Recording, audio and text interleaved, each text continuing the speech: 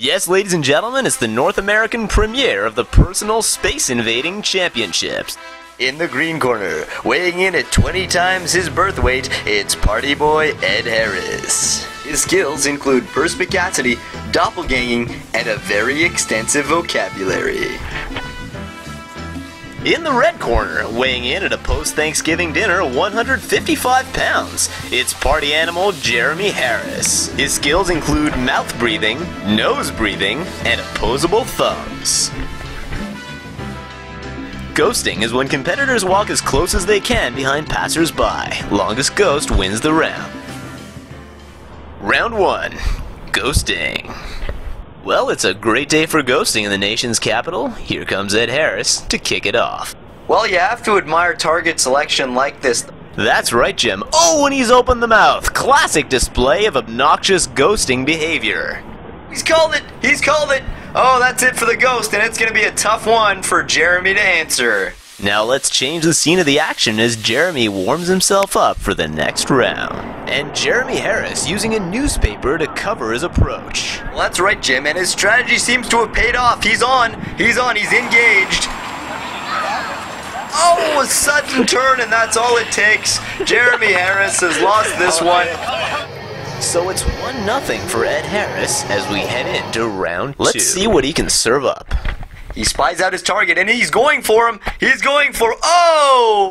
Oh, and Ed Harris betrayed by his own excessive enthusiasm.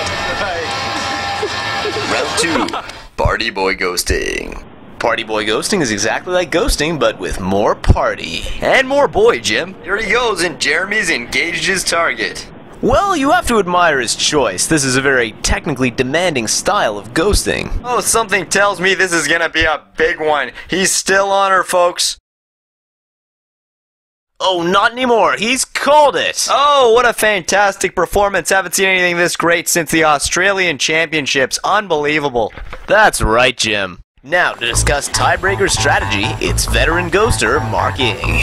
Guys, you have to be very concerned about your displacement between you and your target. So this is the mathematical formula that you should be following, okay? So the integral of the displacement is equal to 1 half the square root of h to the derivative of ph. So then once you get this, you can get this and this will be the optimum the optimum displacement between you and your target. See, if you get too close, you get too close, you're touching. You're touching. It's not good. Okay? So you have to maintain a good distance right here. So that is the big plan. Okay, guys? Okay, so when you select your target, you have to be very, very careful, okay? There's going to be no noise in this. This is a very restricted area. So that means you have to pick the right target. There's going to be obstacles, there's going to be distractions. You have to be able to stay on the ball, okay?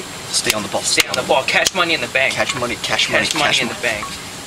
Ching, cha-ching, Ching cha-ching. ching, you know, like Cha-ching, not not cha-ching. that kind of ching, but like No, no, never, never. Right. Okay, stay on the ball. Stay okay, on the ball. okay, off topic. The Stay ball's on here. the ball. The ball's here. I'm on the ball. Okay, the ball. good, good. Ball. Okay, ready. We're on ready. the ball. We're ready. Okay, ready, we're ready. Ready, ready, Ready. ready, Ready. ready, Ready. Ready. Ghost.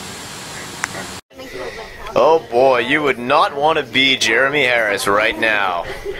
Let's see if Jeremie can bring it together in this final round. Oh, and he's picked his target. He's on, he's engaged, and he looks back. Oh, oh, rookie mistake from the veteran ghoster. He knows it, he knows it. He's not happy with that one, ladies and gentlemen. Oh, Oh boy, Jim, I hope that book is about ghosting strategy because he needs a good refresher.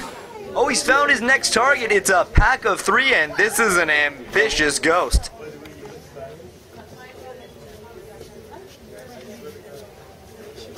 Oh, and he hits his foot, putting an end to what was a promising ghost. Oh, let's all hope that doesn't amount to an injury. Now let's see if Ed Harris can capitalize on this opportunity. And Ed Harris popping out of nowhere for this next ghost, Jim. That's right, Jim, and the target seems somewhat uncertain. Well, this may well play to his advantage, Jim. We'll see what it does to the walking speed of the target.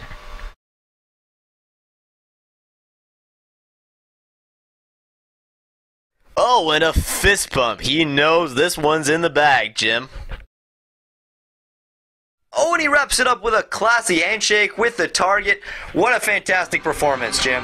Ed Harris has won the championship. As we expected, a fantastic ghosting championships. Back to you in the studio, Jim.